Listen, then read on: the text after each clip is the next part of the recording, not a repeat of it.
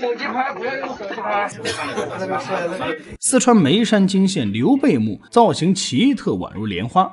专家进入后，只见金银满地，玉石铺路。随着发掘的深入，另一个惊人的发现震惊了在场的所有人。由于依山而建，古墓的顶端竟比天下闻名的秦始皇陵还要显赫。可问题来了，刘备不是死后葬在了成都会陵吗？这墓中躺着的究竟是谁？难不成我们又被罗贯中给骗了？保持住你的好奇心，接下来让我们一起走进汉昭烈皇帝刘备墓的前世今生。作为三国中最富正义感的男人，刘备堪称是文武双全。他文能提笔安天下，武能上马定乾坤。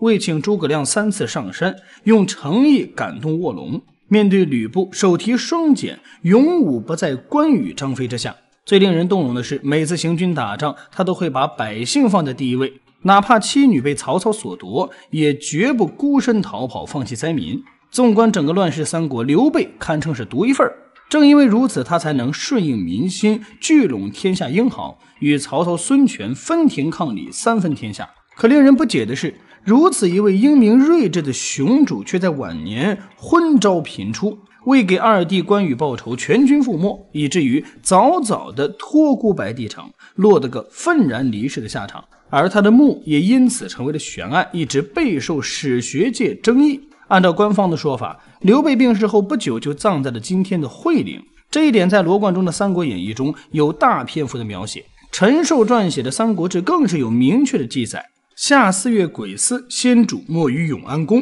秋八月葬会陵。关于这一点，曾有人提出过疑问。要知道，刘备是在永安宫闭眼的，当时正值五月暑天，尸体不便于保存，为何不早早下葬，反而要一直拖到八月秋天？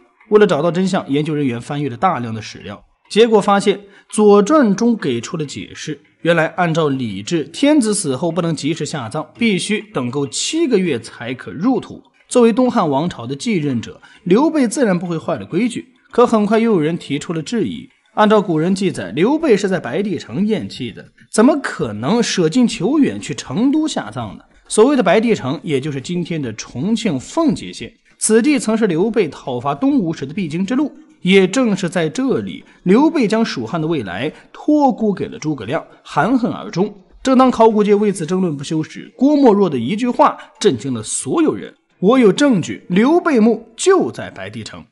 手机拍，不要用手机拍。四川眉山惊现刘备墓，造型奇特，宛如莲花。专家进入后，只见金银满地，玉石铺路。随着调查的深入，一场千古谜团逐渐浮出了水面。公元二二二年春天，刘备的数十万大军在夷陵被陆逊一把火烧尽。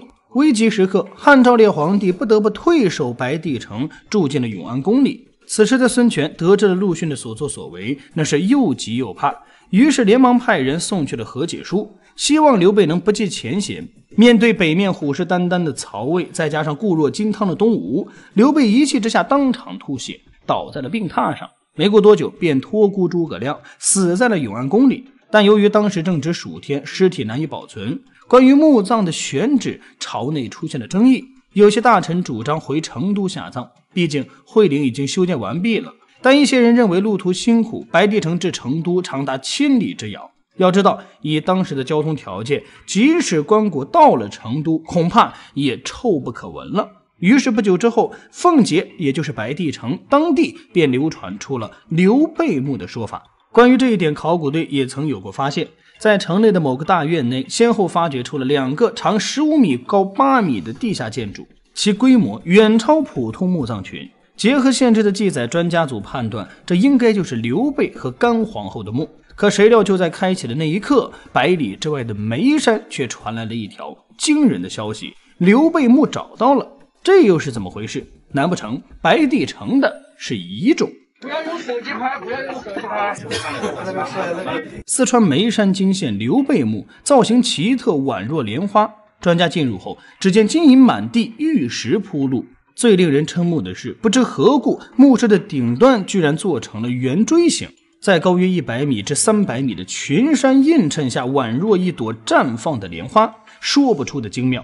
据当地的博物馆人员透露，此山自古就流传着赵烈墓、刘备墓的说法。甚至还有民谣唱道：“要找刘备坡，心经出东门，进山三十里就是刘备坟。”在勘探的过程中，考古人员又有了新的发现。原来就在莲花墓的不远处，矗立着一座巍峨的天然牧场。据说当年刘皇叔曾在此地训练了大批的军马，用来和曹操、孙权争夺天下。那时的蜀汉曾一度笑傲诸侯。前方有五虎上将统御三军，后方有诸葛亮运筹帷幄调度军粮，可谓是攻无不克，战无不胜。正因此，刘备才对这片山头格外器重，甚至将它视为龙兴之地。不久，还找来道士勘探附近的风水，结果不看不知道，莲花墓的周围居然成龙虎缠斗之势。按照易经的说法，那是天生的帝王灵气，若葬在此处，后代有享受不尽的荣华富贵。事实证明，道士没有说错。蜀汉亡国后，刘禅不仅没有遭遇不测，反而被司马氏奉为贵客，迎到洛阳，日日饮酒作乐，后半辈子在酒肉歌舞中度过。想来这和刘备墓的位置不无关系。只可惜，出于文物保护的角度，墓中的陪葬品还不能大量开发，那些价值连城的宝贝，还有无价的棺椁，只能等待日后去慢慢证实了。如今大家公认的，还得是坐落于四川成都的会岭。此地恰好处于武侯祠内，占地面积两千平方米，十二米高的封土堆下埋葬着蜀汉创始人刘备的棺椁，在其正前方竖立着一方石碑，上书“汉昭烈皇帝之陵”七个大字，据说是乾隆五十三年所立。时至今日，两千多年过去了，这里仍旧是文人墨客凭吊历史的圣地。在古色古香的殿宇间，刻着一副对联：“一抔土尚微然，问他铜雀荒台何处寻？张合遗种，三足鼎今安在？胜此石林古道，令人想汉代公仪。”横批：“千秋凛然。”每当夕阳的余晖照在上面，当年的铁马金戈又在耳旁响起。对此，你有什么看法？欢迎在评论区留言。本期视频到此就结束了。如果喜欢，记得点赞关注。我们下期不见不散。